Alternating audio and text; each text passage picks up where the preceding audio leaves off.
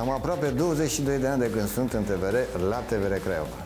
O perioadă cu adevărat uh, interesantă de, cum să zic, de maturitate, de stabilitate, de lucru într-o echipă, într-un loc în care simți că faci televiziune. Libertatea pe care ți-o dă televiziunea de stat, televiziunea publică, este incomparabilă cu o televiziune uh, privată. Adică am trecut și prin uh, cealaltă experiență și prin asta și ai libertatea asta de conștiință de, a, de a-ți face treaba așa cum trebuie.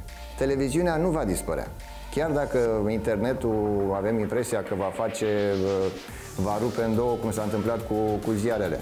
Televiziunea va exista în permanență, chit că oricine poate să facă, am văzut uh, podcasturi și tot felul de alte lucruri de, care se fac pe internet, pe YouTube televiziunea, cu atât mai mult televiziunea publică va exista în permanență, pentru că oamenii au nevoie de un, de un reper, de o stabilitate, de să știe la cine se raportează. Pentru că în celelalte părți, când apare economicul sau interesele fiecăruia, deviază într-o parte sau în alta. Aici trebuie să fim un stâlp, un punct de echilibru. Sunt atât de multe lucruri frumoase care se fac în televiziunea română și oamenii încă nu le știu. Cad pradă unor obiceiuri mai simple, să vadă lucruri mai, mai ușoare. E bine să încerce să vadă ce poate să facă televiziunea română pentru fiecare din, din noi. Și face bine.